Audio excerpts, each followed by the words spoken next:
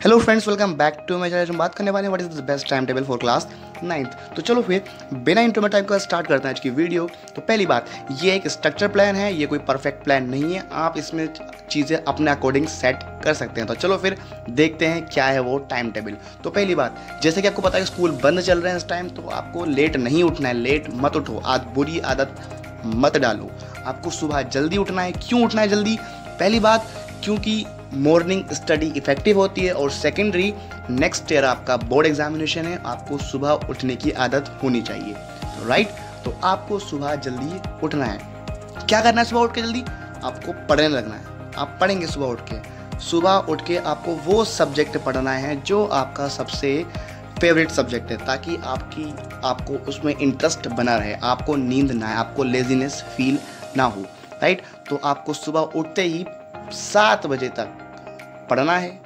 उसके बाद क्या करना है आपको? उसके बाद आपको एक ब्रेक लेना है। सात बजे से एक्सरसाइज करनी है चाहे तो और एक ग्लास दूध पीना है, जो कि ज़रूरी है काफ़ी राइट सात बजे से।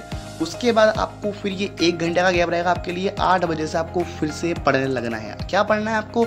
जो आपका सेकंड मोस्ट फेवरेट सब्जेक्ट है आपको वो पढ़ना है। वो कुछ भी हो सकता है। मैथ हो सकती है साइंस हो सकती है फिजिक्स केमिस्ट्री बायोलॉजी कुछ भी हिस्ट्री कुछ भी आप इस टाइम पढ़ सकते हैं राइट आठ बजे से दो घंटे की टाइम दो घंटे आपने पाँच से लेकर सात बजे तक पढ़ा, अब दो घंटे आपको यहाँ पढ़ना है, आठ बजे से लेकर दस बजे तक। अब दस बजे का टाइम आप उस टाइम करेंगे ब्रेकफास्ट करेंगे आप। ब्रेकफास्ट करेंगे और रिलैक्स करेंगे, थोड़ी देर। आधे घंटे का टाइम होगा, आधे घंटे में आपको अपना ब्रेकफास्ट कंप्लीट करना है राइट बच जाएँगे साढ़े दस। अब साढ़े दस बजे आपको फिर से स्टडी करनी है अगेन अब कौन सा सब्जेक्ट पढ़ना है? अब आपको जो, अब आपने अपने मोस्ट फेवरेट कर रखे हैं, अब आप कोई सा भी सब्जेक्ट उठा सकते हैं, कोई सा भी करिए, आपकी मर्ज़ी। कब तक करना है? फिर से दो घंटे इसकी स्टडी रहेगी साढ़े दस से लेकर साढ़े बारह बजे तक।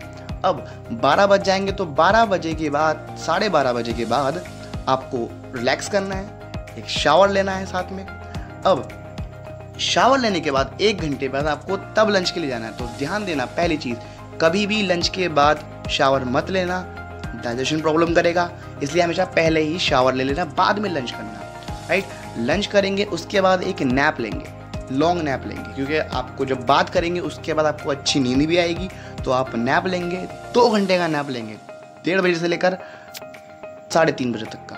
दो घंटे आपको सोना है, ताकि आप रिफ्रेश हो जाएँ, जो आपने सुबह से मेहनत कर रहे हैं अब साढ़े तीन बजे उठकर आपको, क्योंकि आप अब लेज़ी फील कर रहे हैं, आपको वो सब्जेक्ट पढ़ना है जिसमें ज़्यादा थ्योरी होती है राइट आपको लाइट रीडिंग करनी है। अगर आपकी हिस्ट्री जोग्राफी वगैरह तो आप इनको पढ़ सकते हैं। बाकी अगर आप साइंस से बिलोंग करते हैं तो आप ऐसे सब, ऐसी चीज़ें उठाइए, ऐसा चैप्टर पढ़िए जिसमें थ्योरी ज़्यादा हो। फिर से अगेन ये भी दो घंटे का सेशन होगा। आप दो घंटे पढ़ाई करेंगे साढ़े तीन से लेकर साढ़े पाँच बजे तक।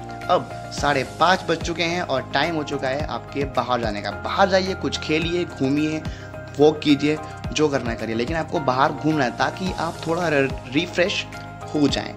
अब, लेकिन इसमें यह है कि अगर आप बाहर गए हैं तो आपको रात होने से पहले आपको आ जाना है। सात बजे फिर से आपको पढ़ने बैठना है। अब क्या पढ़ना है?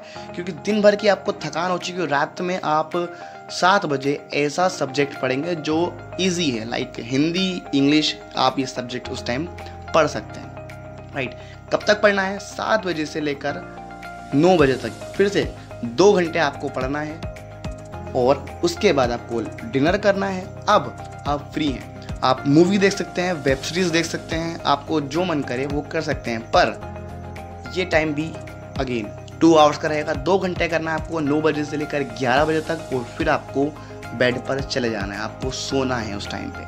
आप सोएँगे ग्यारह बजे और फिर अगेन आपको पाँच बजे उठना है सुबह। तो टाइमिंग कितनी हुई? अप्रोक्स सिक्स आवर्स और दो घंटे का आपने दोपहर में नैप लिया। टोटल एट आवर्स की आपकी स्लीप हो गई और परफेक्ट टाइम टेबल यहाँ बन गया और अप्रोक्स एट आवर्स और नाइन आवर्स की आपकी स्टडी हो गई। तो अगर आपके स्कूल बंद तो आप ये टाइम टेबल फॉलो कर सकते हैं। तो जैसा कि हर स्टूडेंट अलग होता है तो हर स्टूडेंट के लिए अलग टाइम टेबल होता है तो आप इसको अपने अकॉर्डिंग मॉडिफाई कर सकते हैं।